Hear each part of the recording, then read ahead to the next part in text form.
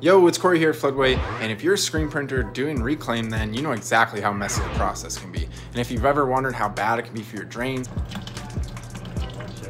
and how to make that a little easier to deal with, then, well, I'm here to show you today. So the less time we spend on maintenance like this, the more time we're adding values to our clients. And in this video, I'm gonna show you a cheap simple, super effective solution for keeping junk out of your drain. It's been 497 days since we last cleaned this reclaim filter, so figured it'd be a great opportunity to show the solids trap again and sort of prove how good it works. Without the bucket, the manufacturer and most shops will recommend cleaning it every week to avoid clogging. And we've gone literally a year and a half. So let's rip this thing apart and see just how bad it is.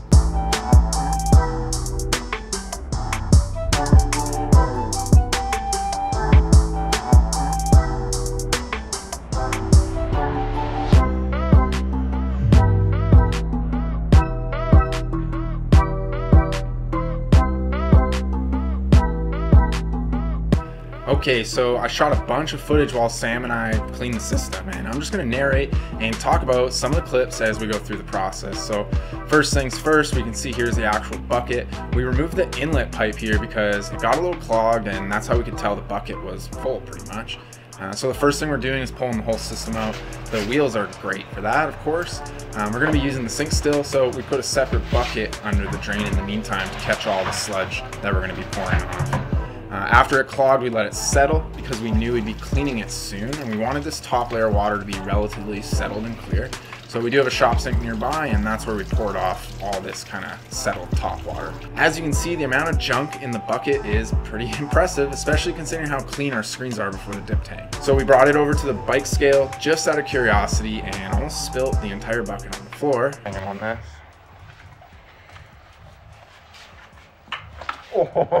But anyway, we have a bucket ready for the sludge we're pulling out. So once the top water is gone, we move all the sludge into that bucket. And this is when we could really start smelling it. It's still not too bad though, because we have a strict rule about non-printing stuff going down this reclaim drain.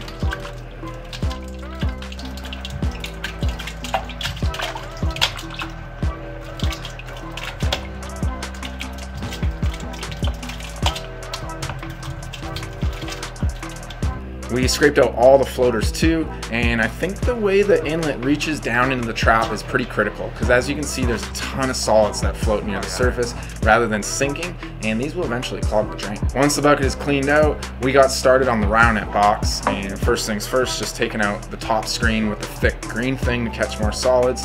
And after a year, it's obvious that the bucket is not perfect. Stuff still gets through, but it's definitely getting caught in this part of the system. Took a while to rinse it out, and that's about the only reason I'd clean our system sooner next time. These screens are the worst part of the process by far, so yeah, let's just zoom through this part a little bit.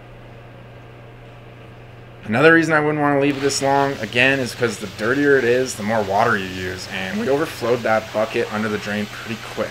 I was a bit distracted with filming, so we had to take a break to mop that up. But overall, that's the only hiccup we had, and I think it's directly related to the system just being maxed out. So maybe I'll clean it more like once a year instead of when it clogs and spills everywhere. One of the biggest surprises was this science project under the bottom screen. So let's just take a moment to appreciate this footage in all its raw glory.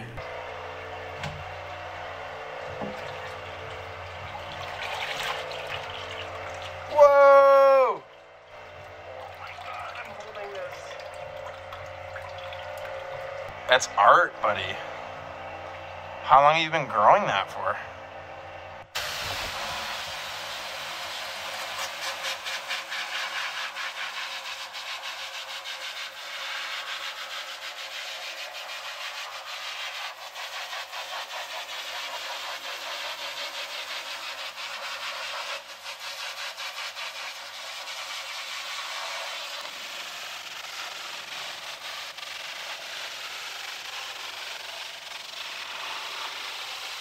That was weird and just another reason to clean it a bit more often, but once that screen was done, the process was feeling really close to complete. Just need to get the tank itself cleaned out and the two micron filters, so that's what we did next. First, we bailed out the sludge water into the sink, and then I ran a bunch of fresh water through the system to dilute and rinse it out. I started by bailing buckets of water in before realizing I had a hose for a mop bucket I could stick in there and kind of automate it a bit.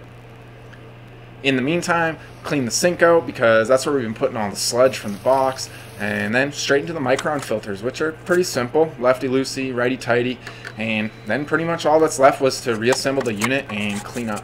The first thing through the freshly cleaned system is the top water from the bucket we had under the drain for the rest of the solids. And after all that was said and done, we were able to fit it all into a single 5 gallon bucket. And then we pretty much just let it sit until it hardens into a solid puck. The plan is to get this disposed of properly when the time comes, but they're not taking up much space, so we just haven't done that yet. So here's what it looks like after a couple weeks of settling and pouring the water off, and you can really see now just how much sludge we're saving from the drains with this super simple setup.